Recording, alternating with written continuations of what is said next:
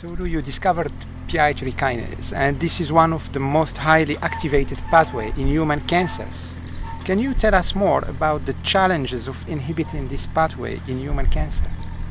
Well, the problem with PI3 kinase is that at least the the uh, PI3, the PI3 kinase that's mutated, PIK3CA, is also the enzyme that mediates virtually everything insulin does. So insulin regulation, suppression of gluconeogenesis in the liver, regulation of glycogen storage in the liver, regulation of glucose uptake and glycolysis in the muscle and in fat cells is uh, is mediated by the exact same gene that's mutated in cancer. And that creates a challenge because if we develop drugs that hit that target, they should cause hyperglycemia. And they do. And, and they do. And in fact, any drug that doesn't cause hyperglycemia, and I've had pharmaceutical companies come to me and say, use our drug, it doesn't cause hyperglycemia, it's a safer drug. I'm saying, it doesn't cause hyperglycemia, it's not inhibiting yeah. PI3 kinase, at least the alpha isoform. Sure. And so the question then is, can we get an efficacy toxicity ratio where we can inhibit PI3 kinase alpha in the tumor that has that mutation uh, without causing such dire hyperglycemia that it's a problem. Now, one way to do that, of course, is to inject insulin into the patient, and that will alleviate the hyperglycemia, and in some clinical trials, that's pretty commonly done. The problem is that we're now discovering that a lot of tumor cells that have PIK3CA mutations also have high levels of insulin receptor. In other words, that tumor probably evolved for PI3 kinase to respond to insulin, and then the mutation makes it respond even better. Yes. If you give enough insulin to override the insulin Activate. resistance in the liver and muscle, you're going to override it in the tumor as well.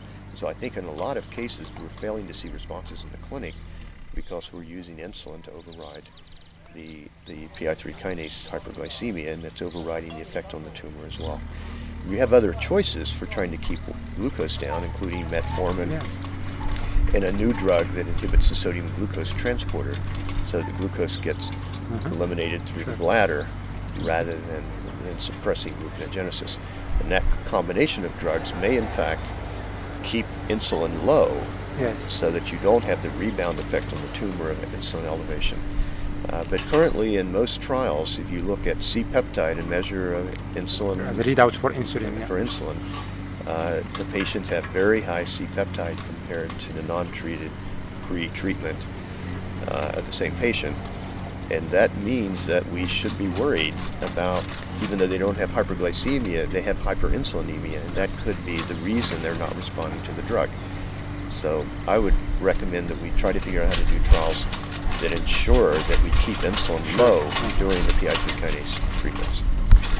Now that being said, there are other PI3 kinase inhibitors that don't hit alpha isoform. The delta yes. PI3 kinase inhibitor, that uh, that yes. that gene is not mutated, but it turns out to be lineage specific for B cell growth, and so drugs that hit that uh, target mm-hmm. don't cause hyperglycemia, uh, and so that doesn't limit the dosage one can attain and that will probably be the first PI3 kinase inhibitor uh, target approved uh, because of efficacy toxicity ratios are better controlled.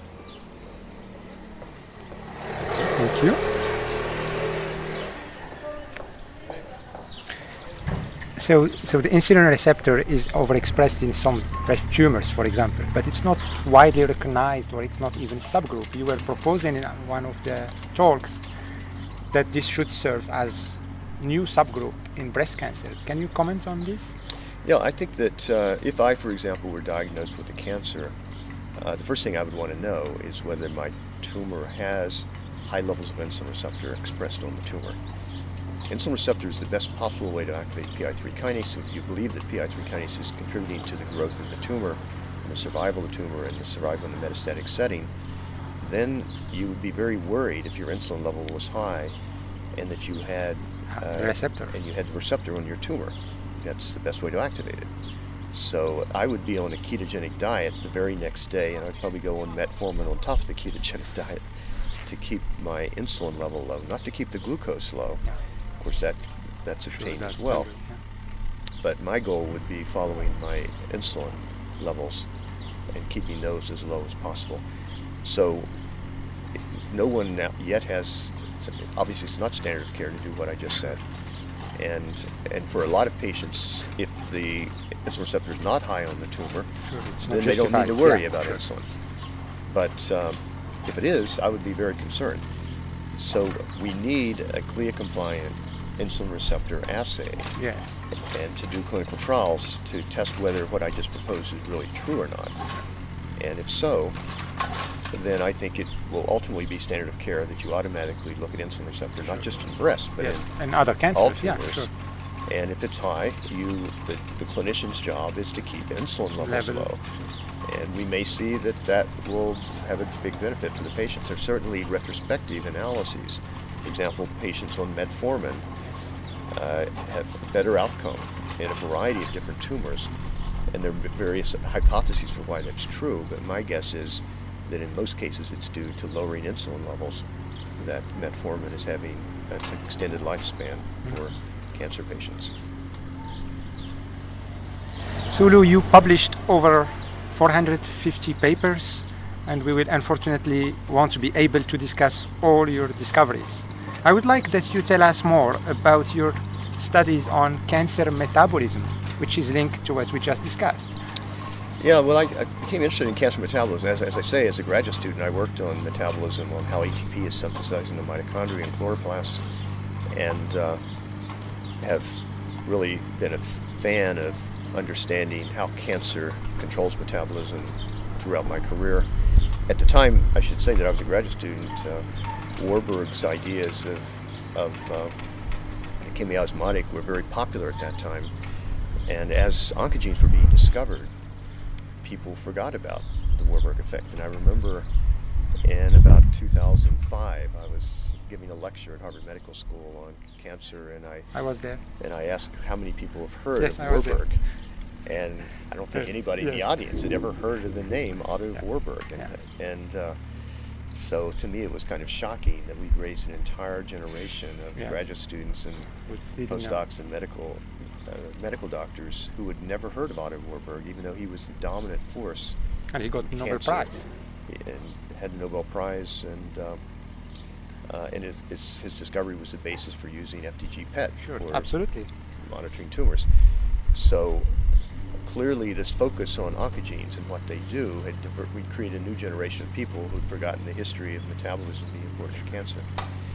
And but at about the mid 2000s, it was becoming more and more obvious as we were chasing down what MYC does, what PI3 kinase does, what HIF does, et cetera, et cetera, that they were all controlling metabolism. Metabolism, all yeah. their targets, most of their targets were metabolic processes. And um, so that's what got me back to metabolism again. I wanted to understand in more detail what those connections were. A lot of the substrates of AKT were enzymes uh, involved in metabolism or uh, pathways that indirectly controlled metabolism. So that uh, that's how I got back interested in it again. Is there any other contribution from your lab that you would like to tell us about?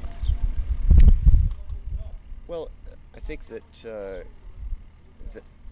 you know there are many different uh, discoveries we made in my laboratory. I think the, the the lesson that I would like to give to the audience is that uh, virtually everything that I did in my career that uh, was important and surprising was complete accident, and usually an artifact due to some contaminant in some commercial product. Uh, paying attention to the unexpected result, like the spots Yes. on the thin layer running slightly the wrong location. Uh, the way we discovered PIP3, you know, we, we discovered PI3P by this migration difference, but the fact that the same enzyme could phosphorylate PI45P2 to make a triply phosphorylated species was, uh, we didn't make till a few years later. And uh, the, the way we discovered it was because uh, we uh, had noticed that the PI3 kinase could convert, convert PI4P to PI34P2. It wasn't very efficient at doing it, but it would do it. And we were following that reaction when one day it quit working. Uh, Leslie Serunian, my postdoc who was doing this, observed that uh, she came to my office and said that the enzyme doesn't do this anymore. It will still convert PI to PI3P, but it won't convert PI4P to PI34P2.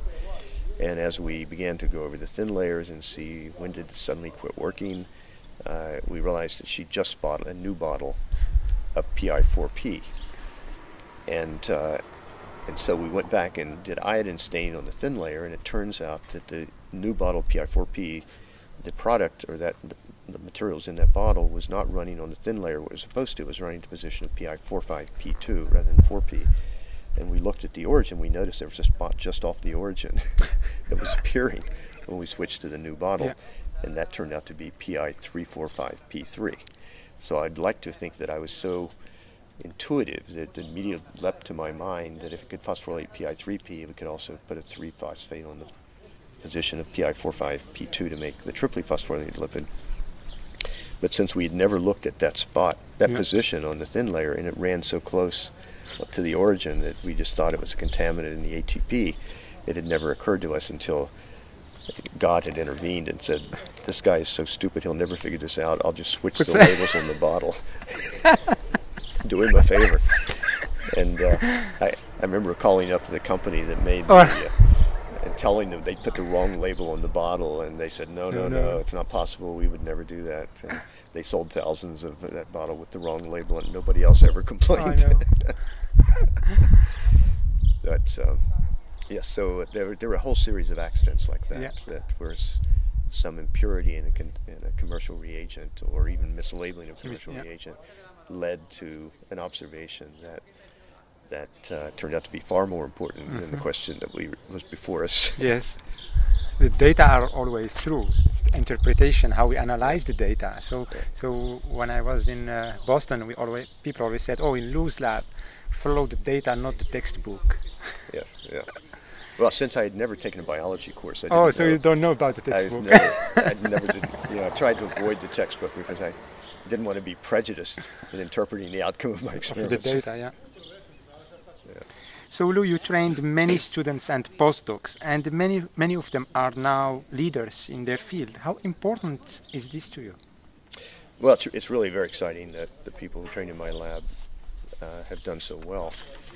Um, I think part of that, of course, is because I was in a position where really outstanding people came to my lab.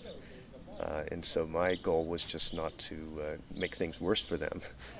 Uh, I took, I ran my lab, a, run my lab a lot like uh, Guido Guidotti ran his, in that I gave people total freedom to work on anything they wanted to work on. So if you find really bright people and tell them do whatever you want to do, and and can provide the resources for that Sure, to and the guidance one.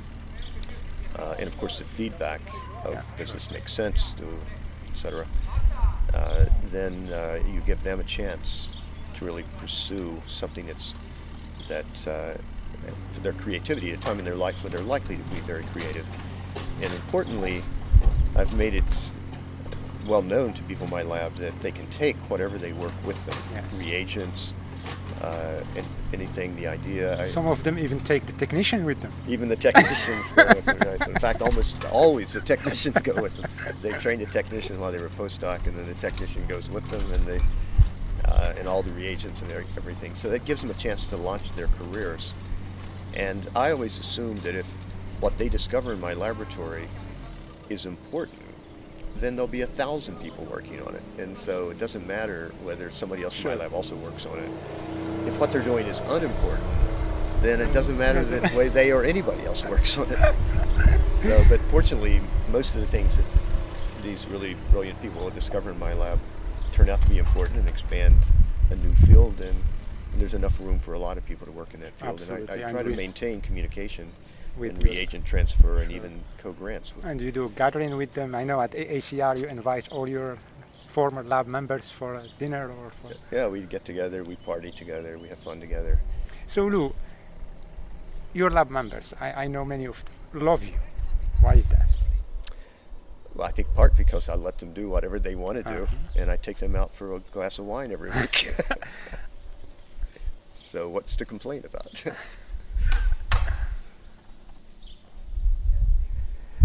So Lew, when somebody is famous like you, people sometimes tend to create a legend. You know, which which one of the following statements is true and applies to you? People said that when Lew wants to learn a new topic, he wakes up at 4 a.m. every day until he masters it. Is that true? I've been told this several times. Uh, not at no, not at 4 a.m. I do typically wake up at 6 a.m.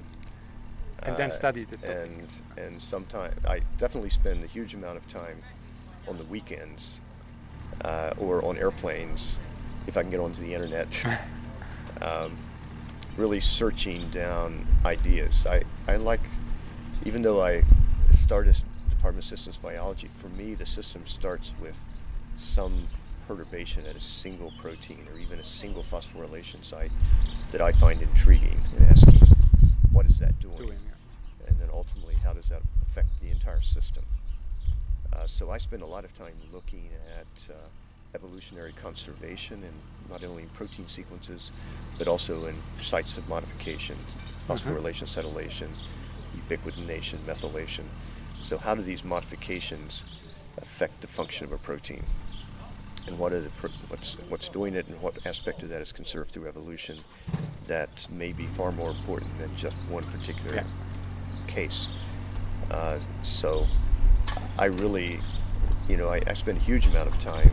Anytime someone, even while I'm at a seminar, if somebody mentions a gene I don't know much about, I immediately pull it down, take it through phosphosite, look at the sites that are phosphorylated, scan sites, to Yes. see what So the kinases are likely to Mhm. be, and then go look through evolutionary conservation so that in a period of five minutes or so, I can probably figure out very quickly what the kinase is that phosphorylated it, whether it's conserved through evolution, and where, therefore whether it's likely to be something really important Mhm. to pursue. Uh, and then as soon as I get that data, I immediately email it off to everybody that Sure. has worked in my lab or currently working in the lab, who I think might have uh, a reagent or an idea Mhm. that could test whether this was right. So the ScanSite is now publicly available, right? Oh, yes, Uh, but this emerged from work in your lab. That's Can right. Can you tell So us about a little bit about ScanSite?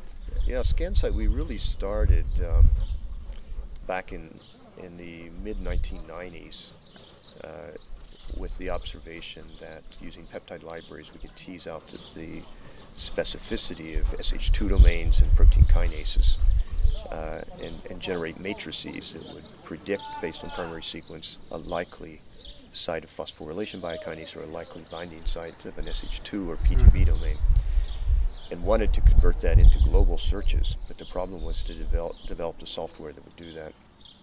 And so several people in my lab had worked on that, uh, and uh, uh, it, it didn't really get fully implemented though until uh, Mike Yaffe Mike joined Yaffe, the yeah. lab, who who really uh, dedicated uh, quite a bit of time and effort to to get that done with a lot of help from uh, some other people. Uh, and so uh, and Mike has continued to keep ScanSite running at MIT and updated. And uh, Ben Turk and other postdocs in the lab has generated a lot of the matrices, particularly for the yeast. Yeah. In the old days, I generated all the matrices myself. Uh, I would spend my weekends, gen- take about an entire weekend to generate a matrix. Uh, and then I would dump it on Mike Yaffe to put it into the system.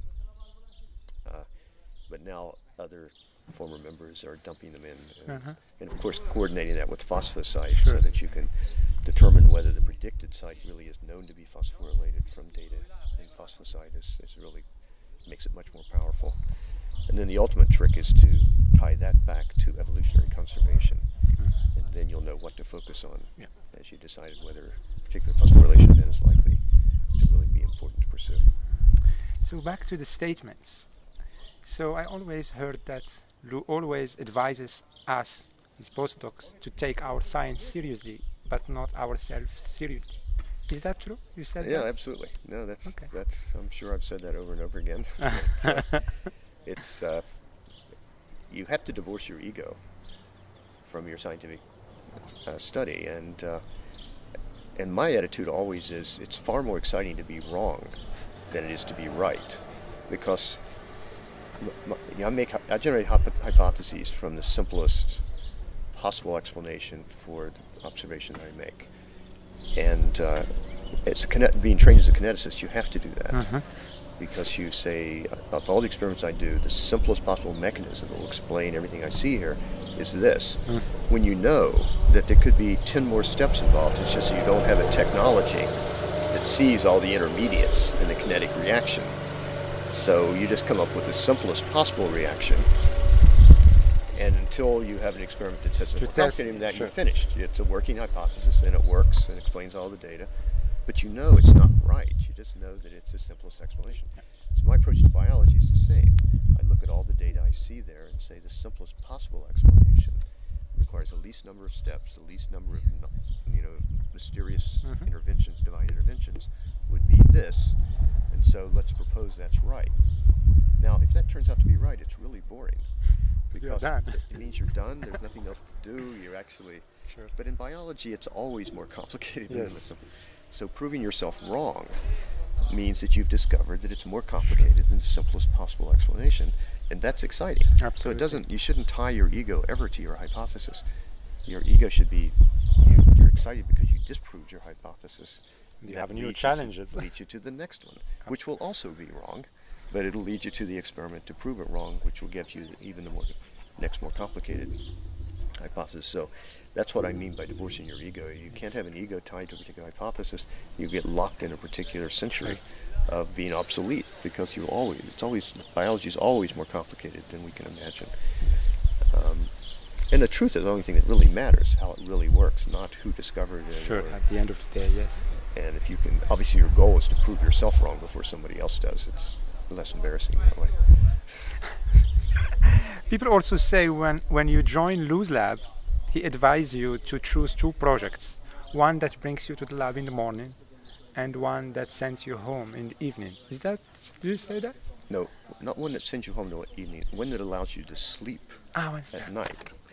That's right. So one to get you to bed and allow you to sleep at night, and one to get you out of bed uh, to go rush into the lab to look for the result from the previous experiment. And they're never the same uh, project. The uh, so one obviously the one you rush out of bed to go here, look at the result is is, is an experiment that uh, is going to have a rapid turnaround time. It's going to give you a quick answer to something, and it's unlikely to uh, you know, to be a huge breakthrough. Yeah. Uh, but it could, Yes. and so that's why you're excited. Sure. And so you rush out to see, oh, if it comes out this way, I, you know, I've got a cell paper. If it comes out this way, I may know nothing at all, but there is that excitement. Uh, the one that gets you to bed at night is the what, we, what I call class one experiments. No matter how it comes out, it's a publishable figure in a paper, Yes. and so you know that that day you did a body of work, which will be a figure in a paper that may not be in the highest journal, But you have an answer. it's very straightforward. So there's a safe project that no matter what you do will be publishable. And then there's the risky project, which could be a huge breakthrough. And that's the one that gets you out of bed. So you mentioned class one experiments. What are class two experiments? So class two experiments are experiments. Uh, so the class one experiments uh, is one which properly designed can only have two outcomes, and it's like a yes/no, and either one gives you important information. Uh, that's like asking. I know the number is between one and a hundred. What might it be? And if you say, "Is it greater than 50? Mm-hmm.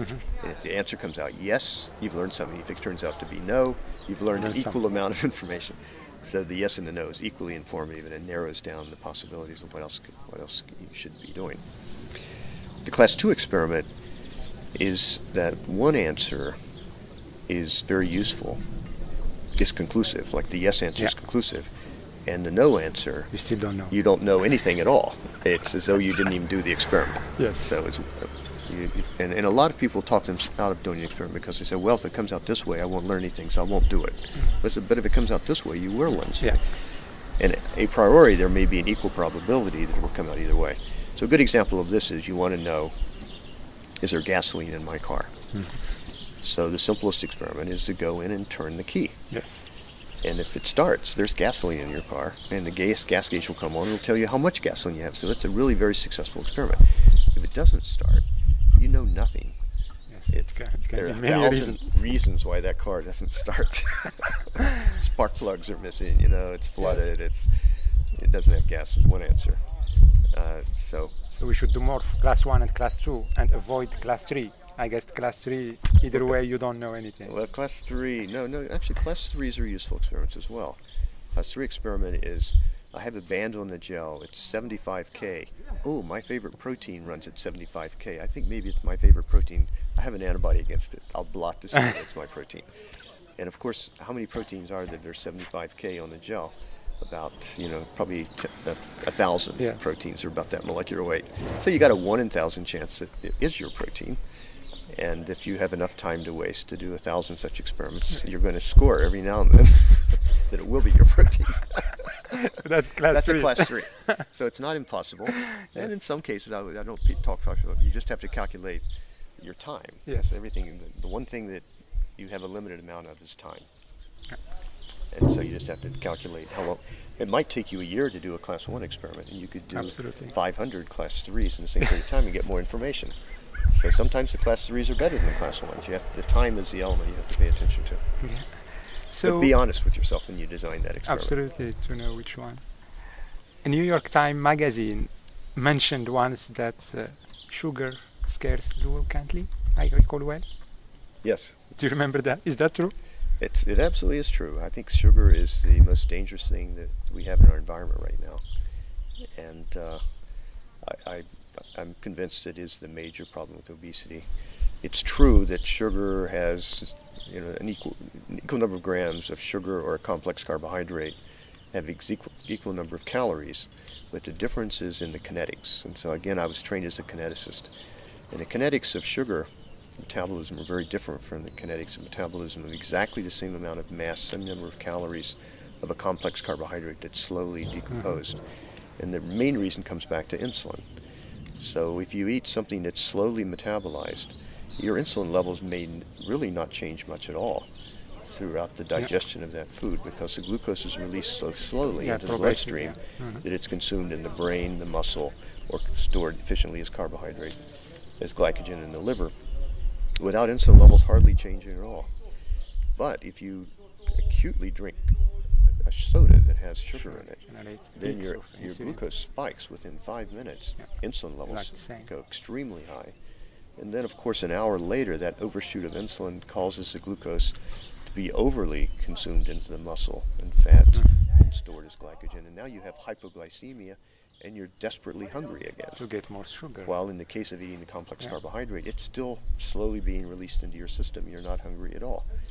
And so the problem is we've been trained to study obesity based on total calories eaten Mhm. instead of studying the kinetics of the consumption of the calories and metabolism of calories. And once you think of it this way, you really realize the important thing in, in maintaining calorie balance and not overeating is that you reach satiety, that you're not hungry all Yeah. the time. If you're hungry all the time, you're going to eat again Yes, and again sure. and again. And that's the problem with sugar. It makes you hungry all the time. Not to mention the additional complexity that the fructose, which is half the mass Mhm. of sucrose and more than 60% of high fructose corn syrup, is uh, doesn't actually give you energy, any energy in your brain, muscle. Uh, it only goes into the liver and gets stored as Yeah. fat. So you're really only getting half the amount of it immediately available energy as you would get from a slowly decomposing Yes. uh, metabolized starch. Uh, plus, it's stored, the remaining material that was of no use to your brain or muscle is being stored as fat. So you're generating fat without having as much uh, calories available for immediate consumption. So it's the worst possible thing to do. You might ask, well, why did we evolve to like sugar if it's such a bad thing? And the reason is that evolutionarily, it was rare that we ever had any sugar in our environment, at least any rapidly releasing Mhm. sugar. And it was only at the end of the growing season when fruits and vegetables ripened Mhm. And turn very sweet. And no doubt the plants, this is a case of uh, symbiosis where the plant realizes, not that plants think Sure. that much, but the plants Yeah, that would evolved convert yeah. to sugar that would in, would uh, drive animals to eat it, their seeds would get propagated. and propagated. and yeah. you wouldn't eat the seed until it was mature, Yeah. and that's when you would turn it to sugar. And what the animal gets out of this is that uh, that's the time of the season where you need to put on fat because it's probably unlikely to be much food to eat over the next three months. Yes. So storing as much fat as possible at the end of the growing season ensures you survive to the next Yeah. growing season. And as long as you only overeat sugar, you know, one month out of the year, Yeah.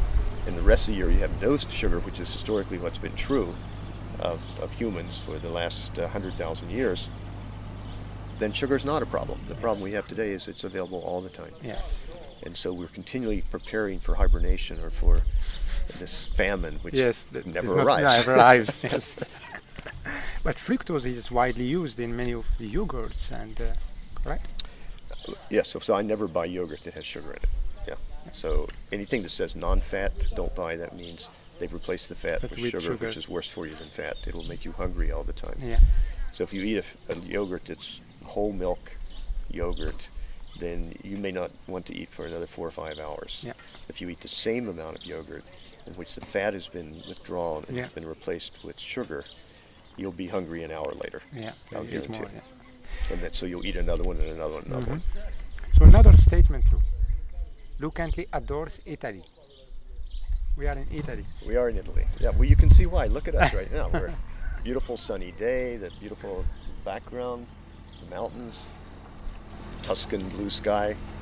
What's not to like? And the food, of course, is great. Yeah, absolutely. And not too much sugar. And not too much sugar, yes. Lew, in addition to all your duties, you are also the editor or the co-editor of Cancer Discovery. What is particular and special about this journal? Well, Cancer Discovery, uh, Jose Baselga and I decided to start. Well, actually, the truth is, we were asked to start this journal Uh-huh. Uh, by Marge Foti and Tyler Jacks Yeah. and, and the ACR uh, board of directors. Uh, and the reason we agreed to do it, in part, was because we had already, Jose was part of my Stand Up to Cancer team. And, uh, and so we already had a good relationship. We were collaborating on uh, and, and he had complemented, you know, his area of expertise really complemented my area of expertise. He knew everything about clinical trials. I knew nothing. I knew, had, you know, figured out the pathways for the PI3 kinase pathway. He was trying to implement those in the clinic. And uh, we realized that we had a good ability to communicate with each other. We felt like we backed up each other with regard to levels of expertise between uh, the bedside and the bench. And uh, and we were both also frustrated by uh, the increasingly long period of review required to get important papers into press these days. Uh, much longer than it took 20 years ago to get papers published. Uh, and felt a frustration that, in spite of electronic publishing, we had actually made the whole task of getting a very important discovery into the public. Uh, uh, media uh, much more complicated. So we're slowing down science by the way papers were being reviewed. So we wanted to have a team of professional editors who uh, and reviewers uh, who really knew this cancer well from bench to bedside, had a lot of experience in that area, uh, and an editorial board of academics who we trusted their advice, uh, if not for their own reviews, but to pick people to review. And then for us ourselves to look over every single manuscript that got to the review process to decide whether to go forward with publishing it. And to be able to do all that in a short period of time. And it's not easy. It's not easy to do it because we're all busy people. Uh, but one of the one of the uh, assumptions that we made, or I, guess one of the uh, decisions that we made early on, was that we weren't going to send out many, many uh, reviews, rewrites of the manuscript, and bring in more and more external reviewers. That we would make a decision uh, early, and that uh, we would overrule reviewers that we thought they didn't get the, con- the concept of the paper. So we look at our reviewers as giving advice, not as the person Doing the job of the editor. Yeah. Yeah. And uh, so that has accelerated the publication. We have, I think, compared to most other journals that are our competitors, uh, we have a more rapid turnaround time. Uh, we only have a few manuscripts per month that we publish, but they're all extremely high quality. And the consequence of that is that uh, uh, last year, when we first had our chance to be reviewed, we to to have a uh, we had been in the system to have an impact factor. We had a, two dou- a double-digit impact factor the very first time, and that. I don't know if that's ever happened before with a journal that has just started. And we're looking to see what it will be this year, but I'm very optimistic it'll be quite high. Uh, so it's been great fun starting that journal. So, what's your conception of peer review? and how one can improve it. Well, as I said, well, the, the things I just mentioned, I think is what we need to do. But for the reviewers, what do you expect a reviewer to provide when you send a manuscript to a reviewer? What do you expect them to, to do? Or how do you review papers when you get paper yourself as a reviewer, not an editor? Yeah, well, for, my, for me, the f- most important question is, is it right? Is it important and is it right? So if I believe it's important and I believe it's right, then the issue of have you done every possible control and multiple things, it's just, that to me that's uh, a way of delaying the publication. And I think, quite honestly, a lot of scientists review manuscripts with the intent of how can I slow this down? and I just think that's not correct. That isn't how we should proceed. Uh, and so having supplemental figures of, you know, 70 supplemental figures that are doing a whole lot of controls that in fact don't have any effect at all on the conclusions of the manuscript. In a number of cases I've submitted a manuscript that's taken two years to get accepted. I look at the figures in the final manuscript and the abstract that I wrote and the conclusions, and there's not a single word different in any of that, which meant that that two years of revising and going through multiple reviewers had no impact at all on improving the paper. It just slowed it down. Now there are exceptions to that. There are some cases where reviewers really have an insight that dramatically improves the paper, Mhm. and I've seen that happen as well, even with my own papers. So, but the goal should always be to, as quickly as possible, get a breakthrough discovery published if it's correct. If the fundamental observation you have confidence is correct, then all of these side issues, you know, I, I think we, we're getting too bogged down in things that slow down Delay, yeah. I can, I mean, I remember back in the uh, 70s and 80s, uh, and even 90s when Cell was getting started, uh, and Ben Lewin would decide he wanted, he saw a paper that he thought was exciting. Uh, he would sometimes call me up. I was on the editorial board or a consultant for them at that time. Say, this looks exciting to me. Can you tell me whether it's correct? Is it accurate? Is this really true? Uh, and I want the answer by tomorrow, if possible. And this was before email, so Of it would course, yeah, arrive by fax. taxi. Ah, by taxi. No, by taxi. Sure, yeah. Yeah, yeah, in. Boston. Send it to me. I would look at it and say, yes, it absolutely, you know, it's, this is correct. I mean, of course, they could do Sure. 17 more experiments, but fundamental observation is Contained enough controls already to, to show correct. There's you. no doubt they cloned the right Yeah, gene. It's okay. what they say. And that paper would appear in hard copy a week later.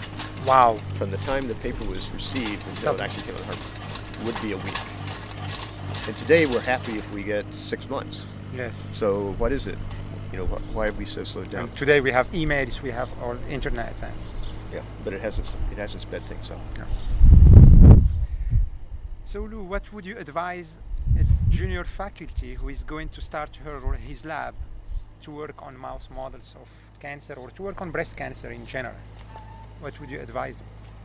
Well, I think the first thing I would do, I mean, it depends on what sort of questions you're asking. If you really want to be translational and you want your imp- what you're working on to have an impact in the clinic ultimately, and in maybe a clinical trial or validating a drug target for a new approach for therapy, you really have to start from what's doable in the clinic and work backwards.